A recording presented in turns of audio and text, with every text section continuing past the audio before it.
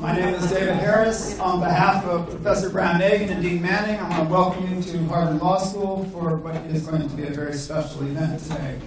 Uh, you know, I, I, don't want to spend a lot of time. I will say that uh, this film and watching this film uh, was for me like a trip down memory lane. Uh, I think probably true for many of us here. I'm looking at median age. I think most of us feel in some way connected to it. Uh, the soundtrack for this was like the soundtrack for my high school senior year. Uh, and, uh, uh, you know, I think it's really important. I was talking to Frank. I mean, I think uh, I'm glad to see you all out here. The film really speaks to us not just in terms of nostalgia, but it also speaks to us about uh, what can happen, what young people can do uh, when they're determined and organized to change, to change, to change our society. And uh, this year is the 50th anniversary not only of uh, the strike at San Francisco State, but many other things. You know, as we know, uh, uh from Birmingham, from the uh, Memphis uh, Memphis strike, Memphis organizing, to the assassinations of Dr. King and Bobby Kennedy, to the Kerner Commission report, to the passage of the Fair Housing Act. A lot of things have happened. This is 50 years. We think about what's happened in those 50 years and what hasn't. And I think the things that haven't happened, we have to look to young people to help us work out. And so I uh, talked to Frank. I think we need to, we're going to have, have to have a second meeting where we go back on campus and have a lot of young people present who need to see this film. So uh, before I introduce Frank and Abby, I want to kind of give some thanks to a bunch of co-sponsors we have. Uh, we have the Hutchins Center for African American Research, the Prison Studies Project, the Harvard uh, Graduate School of Education, Office of Student Affairs, Harvard BLSA, the Harvard Journal on Racial and Ethnic Justice, and the Transformative Justice Project. Uh, I want to kind of announce a couple of things that are coming up, a couple of events we have coming up soon. We'll have on March 2nd, we are co-sponsoring an event for the young people. We're going to screen Get Out. Uh, uh, and, uh, that's going to be a different event. You know so uh, you have to, we're trying to figure out the venue for that, so you'd have to check on our website uh, to find out what that. If you're not on our email list, I encourage you to go to the website and sign up. On March 21st, we'll host, host Catherine Lhamon, the chair of the U.S. Commission on Civil Rights. On March 26th, we'll host Rich- Richard Rothstein, author of Color of Law. On March 29th, we'll show another film called Tribal Justice, which you probably know. Uh, with another Abby With another it. This is the World of Abbeys, uh, on Native American courts. And on April 2nd, we'll host Linda Gordon, the author of The Second Coming of the KKK. We have some other events in the hopper, and I do invite you uh, to uh, visit our site to find out more. Uh, so it's my pleasure to introduce uh, Abby Ginzberg and Frank Dawson. Abby was here, I can't believe it was uh, six years ago, 2012. So it's a difference uh, for a film, great film she did on Oso. Uh, and uh, we're really glad to have back. Abby is a, an award-winning uh, filmmaker and producer, and we're really pleased to have her. Frank uh, has, a, has an illustrious career in uh, uh, communications and working with several production and post-production companies and major networks. before I introduce them, as usual, I need to give all thanks and praise to my colleague Kelly Garver, who helped make this happen. She had threatened to be here. She's not. Uh, but in her absence, I hope we'll all give her a round of applause because without her, we wouldn't have. Yeah. I did smart man. I was going to do that and decided to stay away. So with that, I turn it over to Abby and Frank. So I want to give a shout out to all my friends from Boston and Cambridge who came. So thank you. Uh, thanks for being here. Thanks for giving us a chance to share this film with you. It's, yes, this is the first time the film has been screened in the Boston area, so it's actually a big deal for us to be here as well. Um, when the film is over, we're going to have a Q&A, and following that, there's a reception. Because we didn't want people to schlep all the way here, and then, you know, we only are giving you water, we're not giving you drinks, but we are giving you some food, so please stay. Plan to stay for, you know, a half hour, 45 minutes before you leave.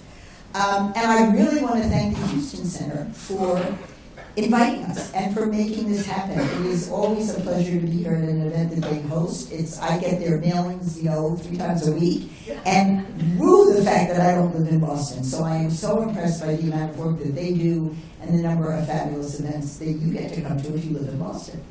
So with that, I just want to say thanks so much for being here. We'll be back to talk to you afterwards, and here's Frank. Thank you. I'd also like to thank you all for coming out and for uh, Harvard hosting us and hosting this screening here. Seeing some friends that I haven't seen for a very long time, uh, which is wonderful. Um, 50 years ago, Abby and I were students at Cornell University. Um, in September be will have been the start of my freshman year 50 years ago, and uh, Abby had already been there for a year. Um, we, Abby and I, did not know one another at Cornell. We were introduced by a mutual friend at Santa Monica College, uh, where I've been the last 20 years, and decided to embark on this journey to uh, to finish this film. We were introduced because the party knew that we both wanted to tell this story.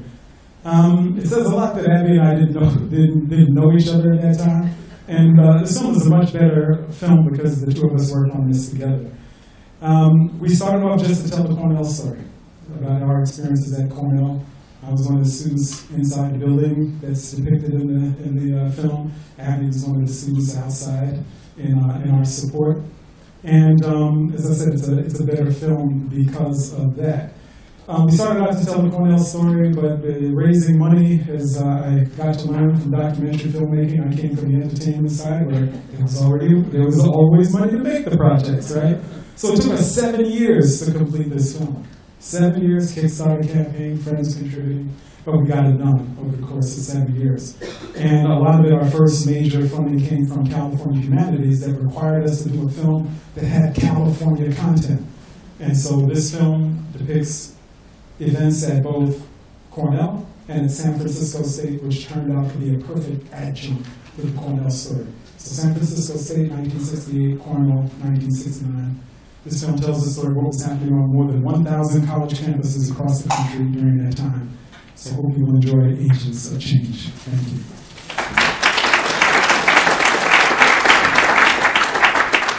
Let me just say the reason we're asking you to give us your email address is our film is going to be on TV in, on February 20th, and we are going to really, eh, we'll send you an announcement, but it's going to be streaming.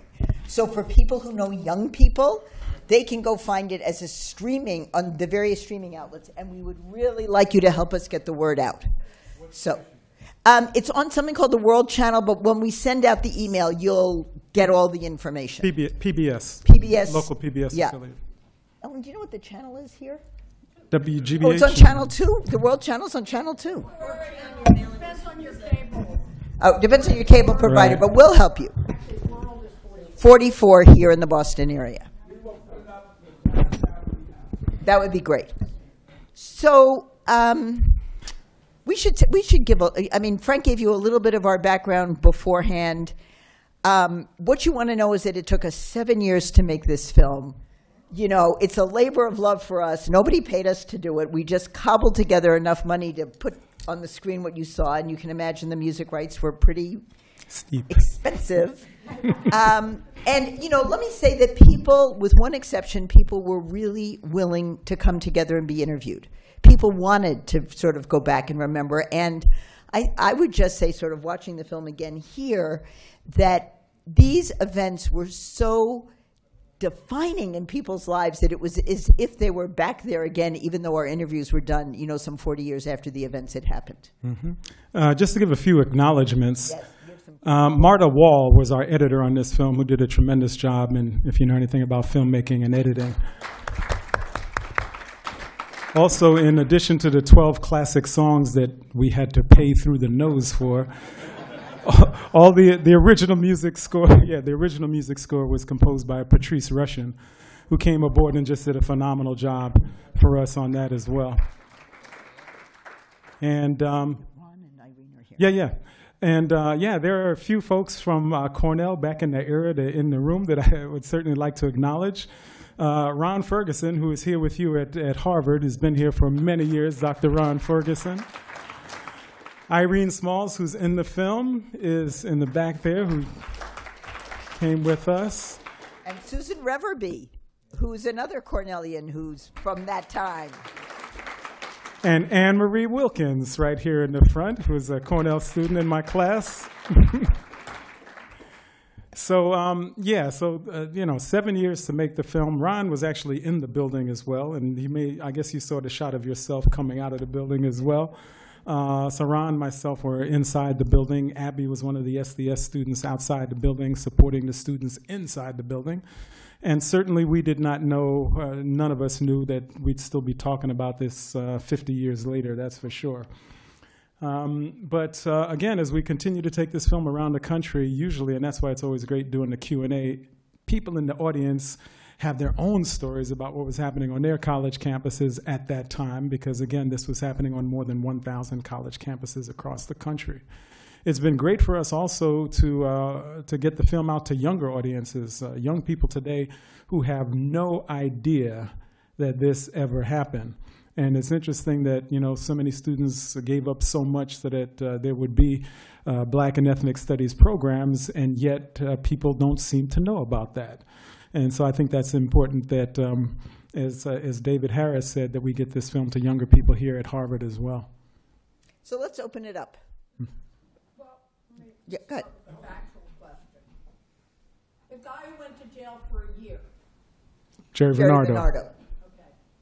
What, what? What happened he- to him? he- Well, yeah, I mean, you know, the, here, the, the police and the, the judicial system and, but what was he, where it was, you know, touching a dean's elbow and various I don't He know. he I, became an What was attorney. he charged with? He I- became I- an attorney. I don't know what he was charged. I can't remember. Yeah, we But- He served a year, a year.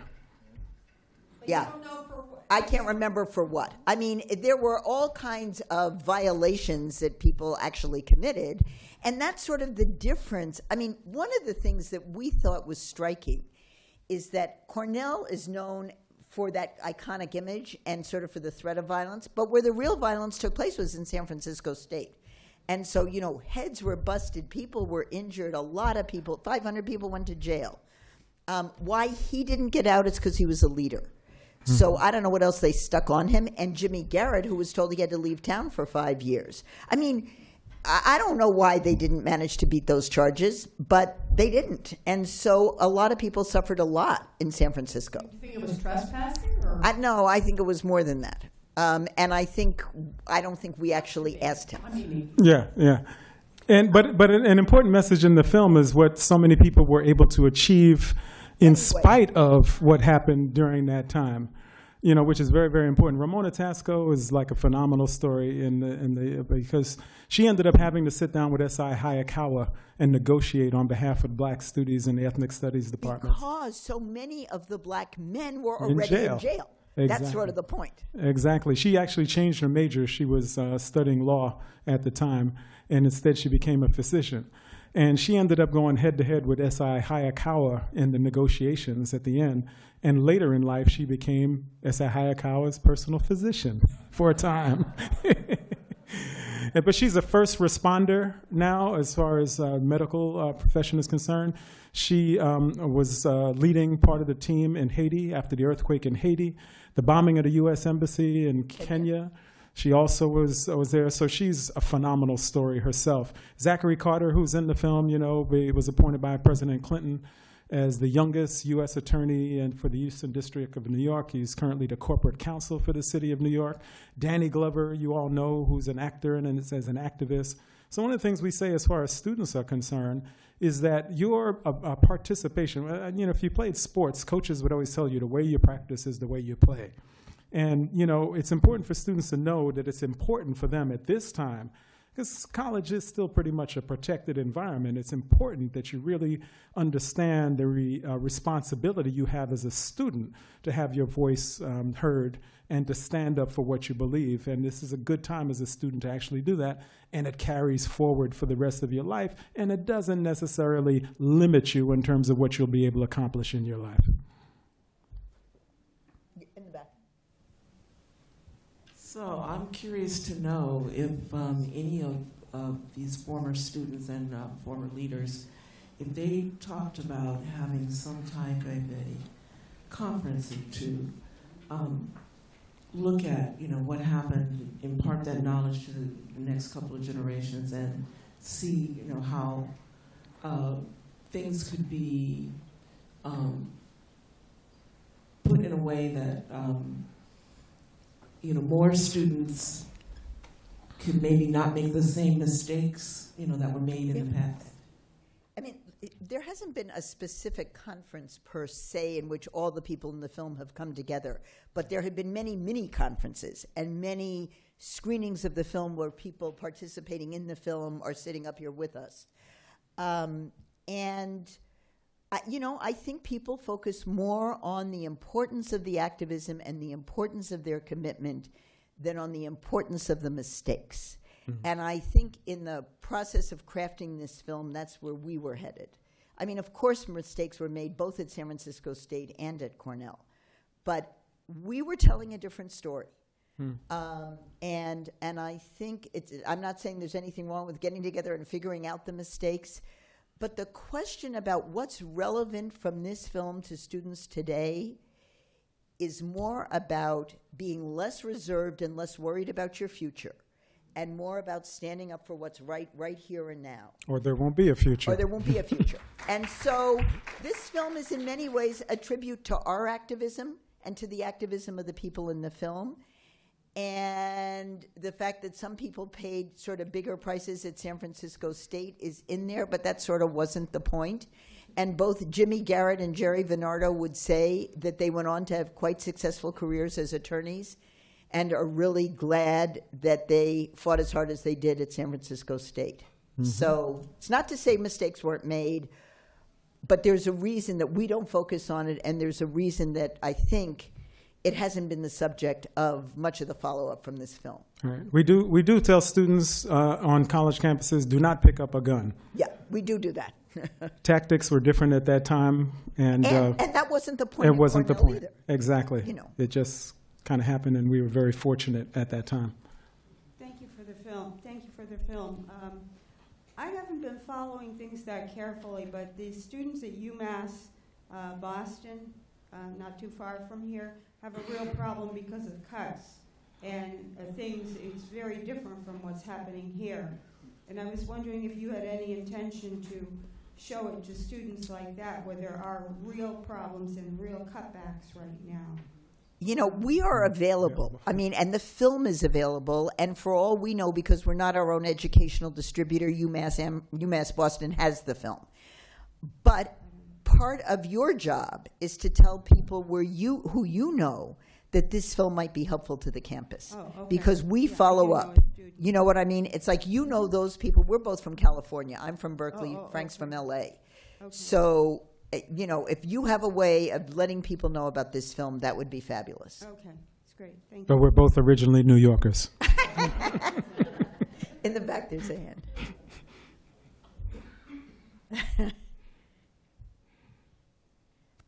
So thanks a lot for a really great film. Um, I was a member of NYU SDS, and um, a couple of observations or comments. Um, the first is um, when I, I only saw the, the picture, and my impression of what happened there was informed, and it just shows the you know the insidiousness of corporate media, the lack of understanding. I had no idea that there'd been a cross burning, and I was a member of SDS.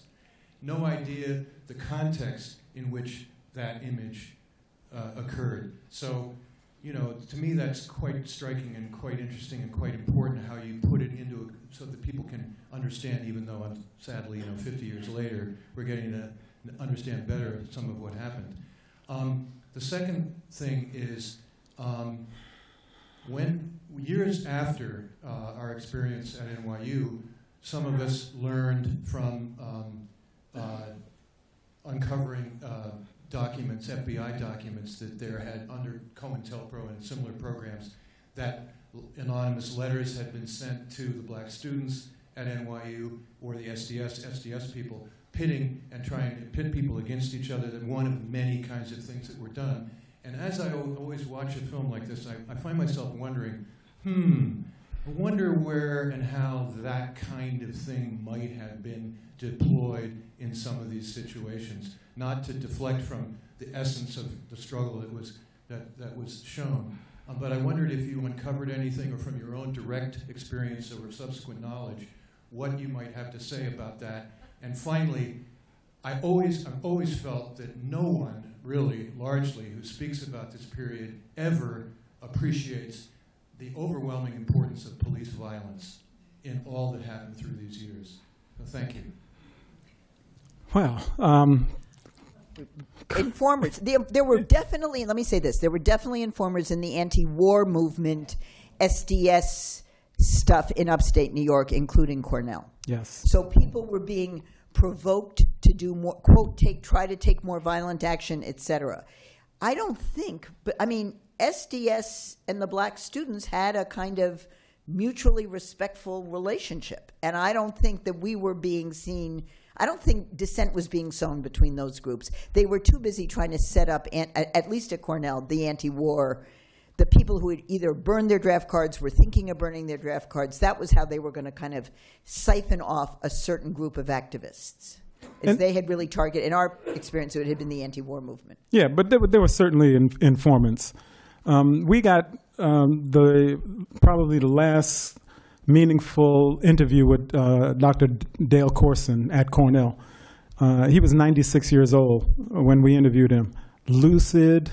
I mean, he remembered dates, everything. And we'd ask, there were some questions that, that Abby, she did that interview and she'd ask uh, Dr. Corson and he'd say, I'm not going to talk about that you know, but we knew, but he did indicate that there were students who talked to him. He was in the know. He knew things that were going on because students talked to him.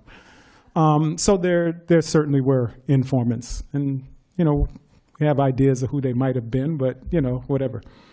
Um, so I don't know if that answers your question.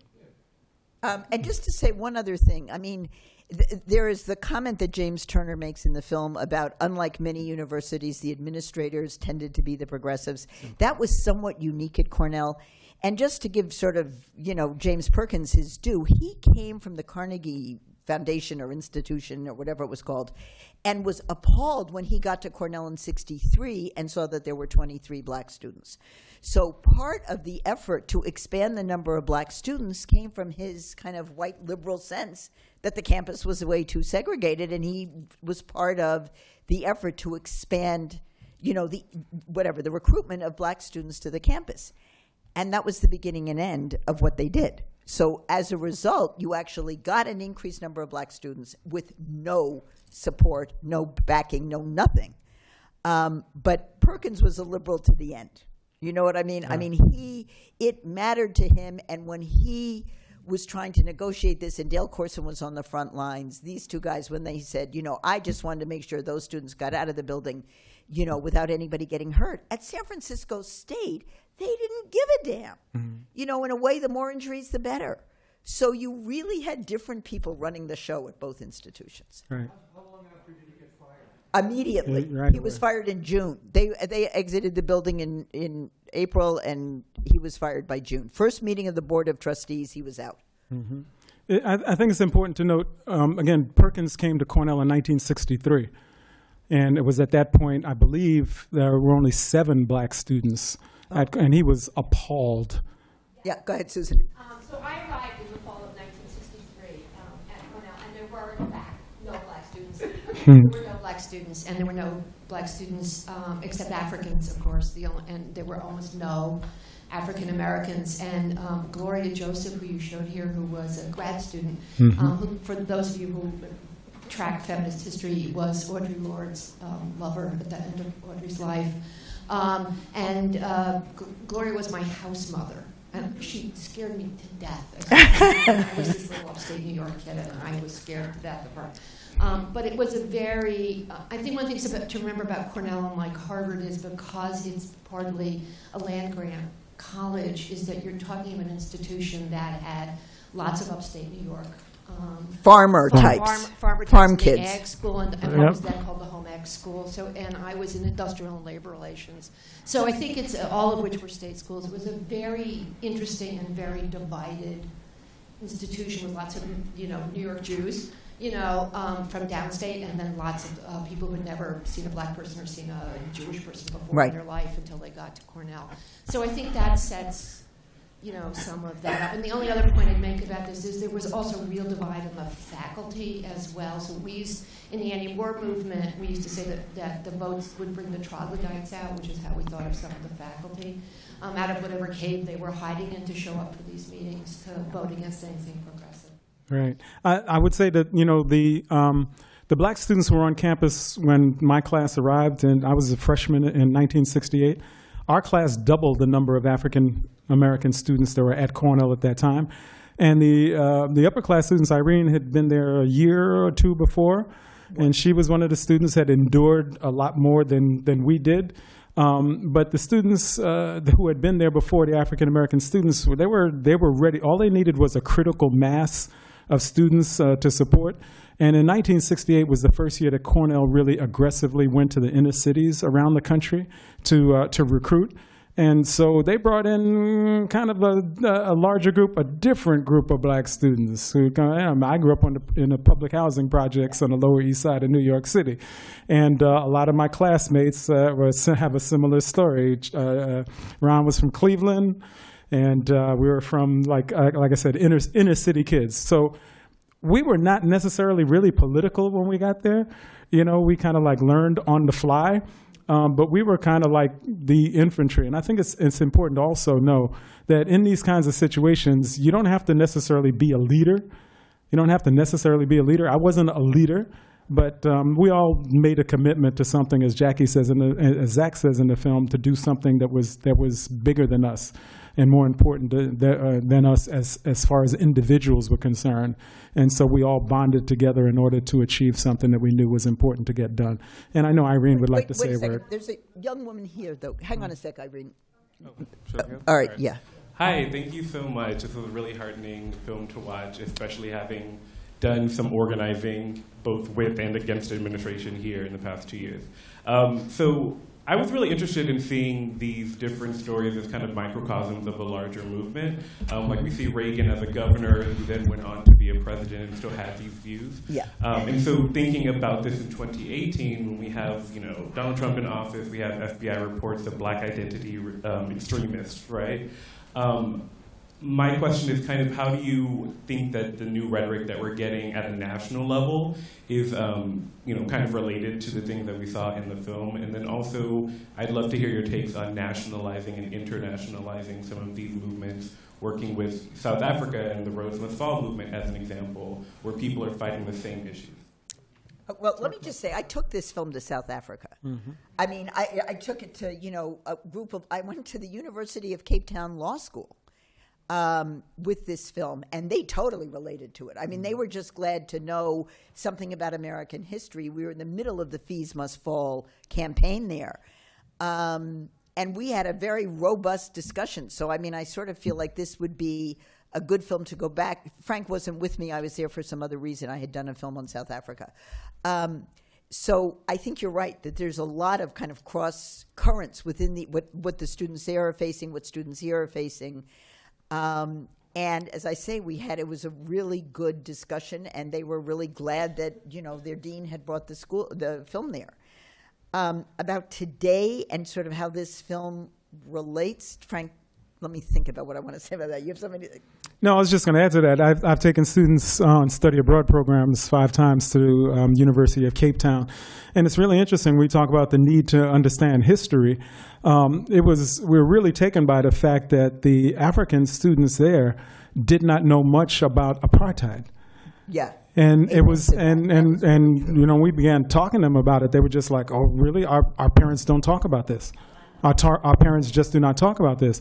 Talked to some parents, and the idea was they didn't want their children to understand what how bad it had been because they felt that they would be so angry that it would be impossible for them to move forward themselves because they'd be so upset with that. So they didn't share the history with their own with their own children. So when we talk about a film like this and importance of this story is just you know for not just for students here in America but all across the world to understand the histories and the struggles of people of color all over the world.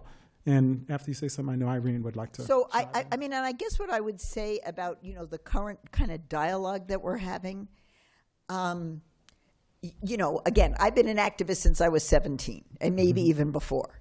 Of, co- I, of course, I have. I feel like I've never seen anything as bad as what we're in at this moment. But I also feel the power of the resistance. And so, for me, because I'm an optimist and I can't get up in the morning if I don't have some reason to be optimistic, for me, it's the power of the resistance that's going to keep me going and us going. And so I tend to focus more on that than how incredibly depressing some of the national dialogue is and how racist some of it is and so on. And I would say, you know, that we have to just really own the resistance and, and really feel like we're part of something again. And so, in a funny way, for me personally, this is a good time. Things were really bleak in the late 60s. I mean, and we were fighting, uh, you know, a war in which, as you looked around, you thought maybe some of your classmates were going to have to go fight, et cetera. So it's like, I don't know. I mean, I feel what keeps me going and what keeps me kind of engaged in pushing back against where we are is having a film like this. I also have a film on the Japanese incarceration where they started talking about the incarceration of Japanese Americans as a precedent for locking up Muslims and for everything else we're doing to Muslims today. So I have a second film that permits me to kind of engage in that dialogue. And so for me, all I can say is I'm part of the resistance, and that's the only way I know, you know, how to keep breathing, working, moving on, and being in rooms like this so that, you know, we can sort of say, look, this is a resource that exists. If any of you have connections to other communities, please, whether it is a public library, whether it is a high school, because there were some people here from Concord Academy, whatever it is, think about how you can help this film be kind of an antidote to the stuff that you're referring to that's going on in the national media and in our national consciousness. Mm-hmm. So I would say we need you to help us do more with this film and with films like this so we can kind of change the dialogue to make it more humane and more of what we need done in this country. So mm-hmm. And Abby's other film is called And Then They Came for Us, about the Japanese internment. Very important film to see as well. Um, I just wanted to make a point that um, Frank had made, was that the group of black students that they brought in was different from the groups they had before. They'd always had small groups of black students, but they were very middle class. And for the first time with my class in 1967, 1968, they brought in talent. The focus was on talent, no matter what the economic level. And so you had kids from welfare, you had kids from the project, but they were brilliant. And so growing up in Harlem, New York, for me to come to Cornell and be told, um, thank you, for me to grow up in Harlem, New York, and be told that black women were promiscuous and black women couldn't do this and all this other kind of stuff, I was like, no, that's not my life. And because of the fact that we were smart to begin with, we were the best of the best. And we had been solidly, shall we say, grounded in the black experience in re- under segregation. Hmm. You know, one of the things that segregation did was that black people socialized each other. And we told each other that we were okay. So when I went to a school that said I was not okay, I wasn't going to take that. And there were other students like Frank, you know, and like Ron who said, You're right, we're okay. We've been okay all our lives. What makes us bad? What makes us inferior? What makes us small? And the other aspect is that it was an SDS member, uh, Ron, not Ron, but uh, Dave, Burak. who Burak. put Dave Burak, who put uh, Frank and Abby together. So the reason this film happened at all was because of what Dave did in terms of he knew Frank and he knew Abby and they were trying to make a film and he said, well, you two need to talk and this is what we have today. So there were a lot of connections and I guess the concept that if you come from a solid African American experience, which is getting harder and harder to find these days because there's so many different types of media coming at us. And someone mentioned about uh, black activists get, getting together. I've just been invited back to Cornell for the 50th anniversary of Wari House. I mean, I was the founder of Wari House as a wild 18 year old who wouldn't take stuff from anybody and you know had to negotiate with the, uh, the administration around a black women's residence and why there was a need for a black women's residence. And again, because you could not tell me that I was not okay. 18 years I've been told I was okay. I can't come to a school that says to me, oh, you were depressed and you were, you know, underprivileged and so on and so forth. So a lot of what that film represents is those inner city kids, those brilliant inner city kids from the lower class, the lower middle class, who had the talent and the drive and the belief to make things happen. Thank so you. I thank you, Abby and Frank, for putting this together. Thank you. thank you for that. Mm-hmm. Go ahead. Quick question. I'm wondering if you have created or are thinking about creating a teaching guide for the, a teaching guide for this um, film. Um, I'm part of the planning committee for my Oberlin graduating 50th reunion class. And so we're trying to think about how do we speak, uh, how do we connect with current students, and they don't want to hear old stories, at least the way we're going to tell them. This is a good way to raise current issues with old stories, and I can think of people who might fund it if you haven't written it. Curric- curriculum has being is being developed. It's pilot. It's being piloted this semester, actually, at Cornell. Um, going from here to meet with her in Ithaca uh, to further refine it and make sure it's also applicable and available for high school students. So yes, that is happening, and there will be a curriculum to uh, accompany the uh, the film itself. Hi. Yeah, hi. Hello. Um, We love you, young people. my question is about um, allyship when there's an erosion of trust. So in the recent elections, people are like, "What's wrong with white women?" Because like, the, you know, the voting returns for the president and then in Alabama, and so I'm wondering, like, when you were on campus, how did you guys form great ally? You know, how did you guys? Well, we did. There was. Let me just say that it was sort of separate. You know what I mean? It's like I was part of SDS, but the you know which had more of an anti-war focus. But every time there was an action taken by the black students or something against, you know, recruitment on campus, there were all different issues that kept coming up. We saw ourselves as allies of every sort of progressive stance that anybody was taking. So this thing about, you know, the black students took over this building. I still remember getting woken up, you know, at whatever time it was, at 5.30, 6 o'clock, saying you have to come down to the straight. And I'm like, why? You just do what I tell you and get here. And you know, it's freezing cold and there's icy rain. And I, did I, what did I do? I put on my coat and I went down there because I knew I was being called for a reason and I would find out what that reason was once I got there. So there was good allyship, but there wasn't it wasn't like we were having a kind of merged experience. We were having a sort of separate experience, but you know, you see the white people, and our job was to defend the building, defend the black students in the building against. We didn't do a very good job of it, obviously, since people broke in. But the notion of what we thought we were doing you know, was forming this kind of little circumference around the building so nobody would break through. And of course, the minute the football team wanted to, we all pulled, you know, they had to kind of just push us aside and then they tried to break in. Um, but it was a, I don't know how else to say it except that there are going to be good white allies in every situation and you have to be looking for them. And I would say the same thing about, you know, sort of when we go to campuses and talk about students say, we have X problem, who do we talk to? Part of what I say is, and Frank would say, I think the same thing, is go look for progressive faculty members.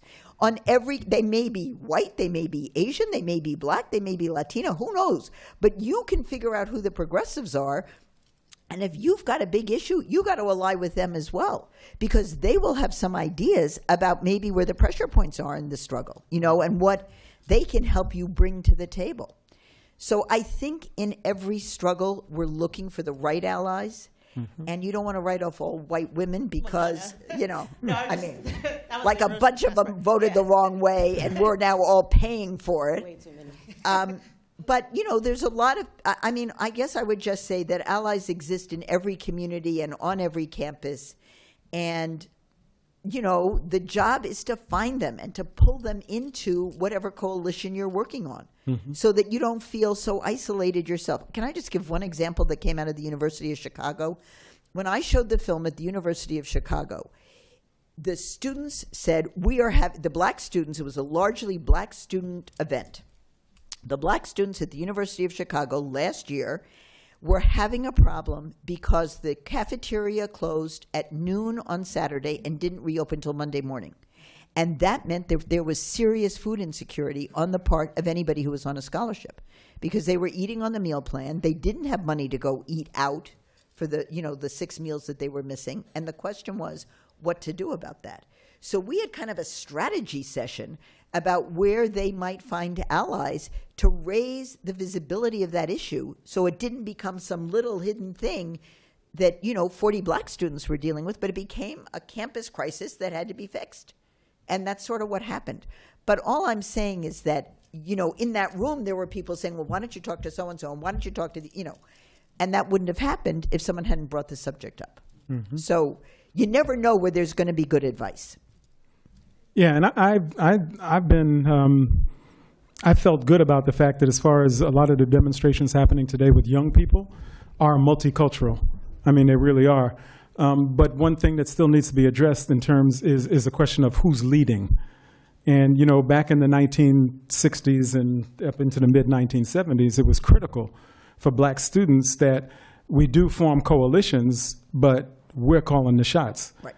It's like you can't have other people driving your agenda. That just was not the situation.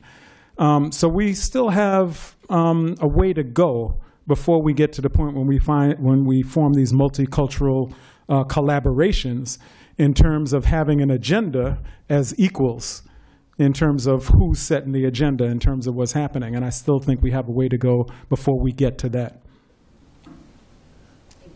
I just want to thank you for it was a wonderful film. It really is. Um, and, and just in response to the point that the young student here was raising, I think there was a lot to learn from that scene where in Cornell, where you had a campus that was largely oblivious, and then there's an armed takeover, and everybody had to pay attention. And then there were teach-ins everywhere where people were discussing, well, why is this happening? Yeah. And people who were oblivious one week had to confront questions the next, and then they changed. And I think it's an important kind of, and now, you know, it's important to understand because you can look at something like this and just feel nostalgic because I think a lot of us who are older in this room, our lives all changed in that period of time. You know, I, I went to a high school that was, you know, in this vicinity of San Francisco State, and we watched what was going on, and then, you know, within six months, my high school was on strike for ethnic studies. Mhm. And it was, you know, it was very similar kind of things where, you know, nobody considered themselves a leader, but I went with a friend to where they were taking over the cafeteria, just thinking I was going to express an opinion and found myself suspended that evening. Yeah, right. And you know, and then you know, then we had to kind of figure out what we thought, what our convictions were, and follow them through. And I think one of the things about this film that you get a sense of is that it took sacrifice. Mm-hmm. It, you know, I, I think it's really relevant to what the moment that's happening now. Yep. Because in March, you know, the you know the DACA decisions end. You know, the president made very clear what his position was in the speech the other night, and people are going to have to make some decisions Yes. because they're either going to go along with this.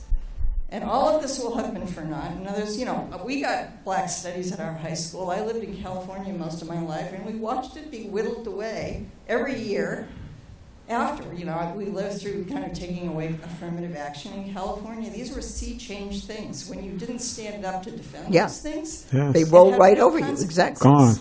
and I don't think you can look at the present situation and recognize that if people aren't willing to to really take some daring action in the face of what's actually coming down here, Yeah, well, uh, the then a film like this is for naught. Yes. But Well- I think if you know, I think if people actually kind of absorb the lessons of it and they're willing to do what's actually required to make sure they're not going to drag away, reopen the concentration camps for the Japanese and whom. I mean, that's the moment we're living in now.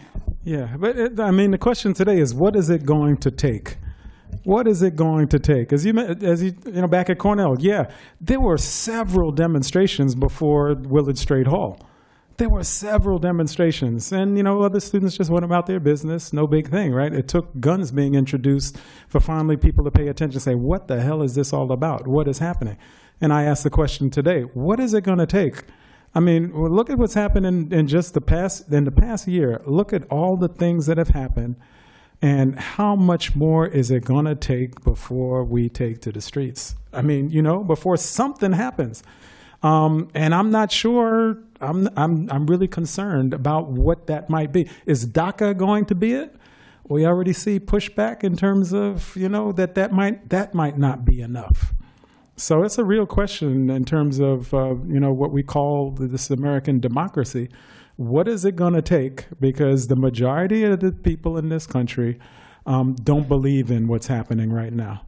The majority of the people do not believe in what's happening right now. Yet it's continuing to get, as my mother would say, wusser and wusser. Wusser, wusser. So. Yeah.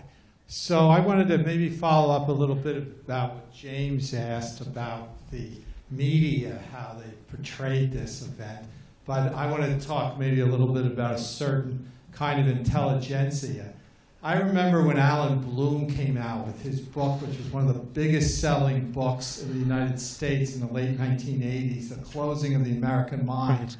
Over and over, you'd always hear, well, Bloom Academic started freedom. his crusade against relativism because of what happened at Cornell. And it was always, the vision was that Bloom wrote in that book how wonderful the universities were in the 1950s. Exactly. And we needed to go back to that time. And I think this is a really common theme in a certain kind of folklore of conservatism that unprovoked, these angry African Americans took guns. There was no reason. They were just part of a relativist culture that they were going to destroy Western civilization. And this is a theme you find a lot among neocons and the right. Many people ensconced in academe, as much as we hear how left-wing academe is. But you know, there's a bunch of people like this, and I wanted to hear a little bit of your reflections about how some of the intellectuals, not just the media, have written about. Well, about all right. Cornell. So Allan Bloom was my professor at Cornell. I mean, and he was really one of the odd. I mean, he was almost like uh, you know he wa- what he wanted to go back to was sort of a Platonic society where there were only you know guys in togas, um, and he was a, an incredibly before. This was long before he wrote his best-selling book. But Allan Bloom was one of maybe five professors that totally took the position this guy has just sort of identified, left Cornell before, you know, somewhere between that summer and the next fall, and went to the University of Chicago. And several other professors sort of followed suit who just simply said, I'm here to be in an ivory tower. My ivory tower has been, you know, turned upside down by these black students. I can't function here. Goodbye. Mm-hmm. We actually interviewed another historian whose name was Richard Polenberg, who said that he was of that mindset until various other things happened. And he came around to realize that he was wrong. But this was happening at a moment in time where, I mean, my father was an academic, and it was hard for him to imagine students having any control at Columbia. And it was just hard for all these guys who had basically been at these universities that, in many cases, were run by the faculty as fiefdoms. Mm-hmm. Students were literally there, at, you know, because you had to spend two hours a week teaching them. Otherwise, all you wanted to do was write your books or do whatever else. And this was being upended all around the country. That's part of what it means when we say there were a thousand, you know, struggles going on at a thousand different universities. So the place was no longer going to be an ivory tower. That was part of what the results of all these protests were. And people like Allan Bloom, he left Cornell, he got to Chicago, he created his own little kind of mini society there. And I think he felt like he did the best he could for sort of recreating the ivory tower he was looking for. Several other professors went to UC Berkeley, which seemed insane to me because Berkeley had already established itself as a place where you were going to hear from students at least three times a week. But it- there was an exodus from Cornell that was directly related to this. And my reaction was, you know, good riddance. I mean, that was my personal reaction. You know, if you hate the fact that student voices need to be heard in one way or another in this university, then goodbye. So I, that doesn't totally answer it, but Yeah, but but to your point also, when we when we screened the film at Cornell for for Homecoming, uh, which we were we were really concerned about, and it then the screening room happened to be in Willard Straight Hall. there was a lot, there was almost PTSD in the room. it was we were, we were very we were very concerned about that one, uh, but it worked out. Uh, you know, it worked out okay. Um, one of the things I want to say about Polenberg, um, it was actually his daughter, and it took him about ten years before his daughter said something to him about it, and he really had to start thinking about it once again after all of this time had passed. And um, unfortunately, we were not able to use his interview in the film. But I remember him saying, you know, quite candidly, you know, I was wrong. I was wrong. Um, and the university is probably a better place because of what happened then. You know, so, but it, it took him 10 years to get there, and it took him, took him his daughter questioning why he still held that same position. And can I just want to say one other thing? This, uh, one of the things that you see in the film, when James Perkins is talking to that large crowd of 10,000 students, most of those students at that point are white. Because where, where were the African American students who had left the building? They had left the campus. I mean, they had kind of done their bit. And we were, We went to the Penn Relays. yeah, okay. We, we needed they some R and R. We were were just gone. we were just. There were a it was so stressful. We we had to get out of town. So literally, the white progressives were organizing the other white students on that campus to kind of bring everybody along. And part of the challenge was to actually engage with the professors who were sort of on the fence because that vote, when the faculty voted not to go for the amnesty, the campus, I mean, that campus could have totally blown up. And what kept that campus from completely blowing up was the fact that there was a lot of dialogue over two days between students and their professors.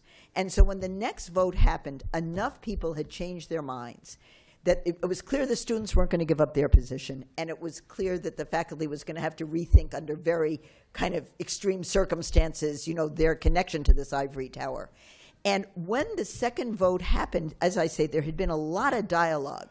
I mean, we were leafleting and we were trying to engage. We were calling professors at home. You know, we had you could find their home numbers in the phone book. In those days, there were phone books. Um, and so there was a lot of work that was done to try to bring the faculty to a different place than where it started. And I think that ultimately, you know, meant that some people who could not be brought along had to leave, and everybody else was sort of part of the new era. And slowly but surely, and it took time for a lot of them, kind of changed their views of how they saw the students and what opportunities they thought the students might deserve to have in kind of the governance of the place. So that was another piece of what was going on there. Thank you. Um, I wanted to uh, say that I also was unaware about the cross burning at Cornell. Um, and I was at Washington University in St. Louis, which, like Cornell, had recruited people from New York, Chicago, LA, and we all were sitting in as well. Um, and two summers later, I was in Mississippi working with Charles Evers and doing voter registration. And a third year law student from Harvard, Johnny Lance Layler, who had a southern accent and was from Texas, and I saw that the Klan was recruiting, trying to build up in Mississippi. And stupidly, we went to the meeting. I mean, he told me, don't open your mouth. You know, put on a dress, do not open your mouth. But I bring this up because at the meeting, they showed a movie called Revolution Today that had pictures of the Cornell sit in and had pictures of our sit in in Washington University where I was on the screen. Oh my God. And I was like shrinking. Um, but their storyline was, and this was 1968, 69, but their story was that this was a communist conspiracy. Takeover. That the Russians brought blacks to Russia to train them. The Jews were bankrolling this. And of course, who was sending the money down to pay for us down to work in Mississippi? It was the Jews who raised money for the NAACP in New York. But I, I'm glad you brought this, your story forward as agents of change. But there were, there's that other counter narrative, um, and I'm sure others, you know, as to not just what the Klan was thinking, but and and the it, the meeting was pretty f- amazing because it was like a church picnic. So it was sort of, you know, families from Mississippi who Hmm. were being indoctrinated with this story. Well, that's just that's just an amazing add-on to this. I mean, it's like, wow, who would have thought? Having never been to a Klan meeting, I didn't really think about that. Um, okay. Or, uh, w- One more here. Oh, oh, sorry. I, I know it's not a campus thing, but the Uhuru movement, the reparations of white people to black people, is actually a way that people can contribute. Any, any people, but especially white people, can contribute reparations right now uh, to the Black Power movement, where they're funding candidates that have been, are in um, uh, Florida that have actually been arrested now, and they're um, building a house also in uh, St. Louis, so that um, this, although it's not a campus thing, it is a way of solidarity with um, of white people with black people. That is um, where the leadership is definitely black, and um, so. I, Thank you I, for and that. I don't think in the other the other groups that I've been with that you ever go in and tell another group how to. Only the liberals do that.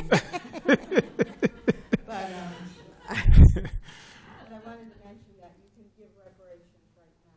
Thank you. Thank you all.